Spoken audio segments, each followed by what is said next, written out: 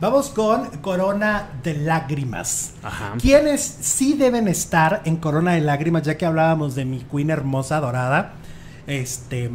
¿Quiénes sí deben de estar en esta telenovela que se va a hacer una segunda parte a partir del mes de enero? Se empieza a grabar. En el 2022 veremos a nuestra eh, Queen llorar, Llorar y llorar. Berrear, aventándose al suelo. Pobrecita es cómo sufren esa telenovela, porque esos hijos cómo le dan problemas, ¿eh? Sí. Pues entonces, a ver, estos son los personajes que no pueden estar fuera de Corona de Lágrimas. Atención, atención, atención, Güero Castro, ¿no? Que justo acaba de platicar con People en español y decía que todavía no tenía todos los nombres. Bueno, aquí no debe faltar obviamente la Queen. Sin la Queen no hay telenovela, ¿estás de acuerdo? O sea, yo- Sin la Queen no hay, no hay lágrimas. no hay Punto. corona, no hay corona, no hay ni corona ni lágrimas.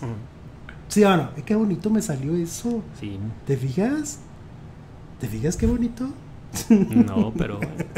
Alejandro Nones tampoco puede faltar. Alenones. José María Torre. Mané de la Parra. Ajá. No pueden faltar. Ellos cuatro. Maribel Guardia No tampoco puede faltar. No puede faltar Adriana Maribel. Lubier tampoco fue, fue, puede faltar. Tampoco Ernesto La Guardia, el malo. Y. Tampoco. África. África, Zavala tampoco puede faltar. O sea, no puede faltar estos personajes. Miren, los demás, si quieren, no nos los pongan. Si no quieren, no nos pongan Arturo Carmona o los que quieran mover. Pero a estos personajes es, son inamovibles.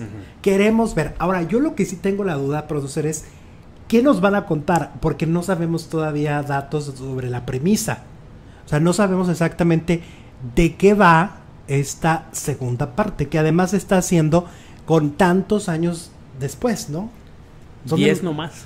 no más. No Imagínate nada más, 10 años después. Lo mismo que Pasión de Gavilanes, ¿no? Que se está haciendo 20 años después, una cosa impresionante.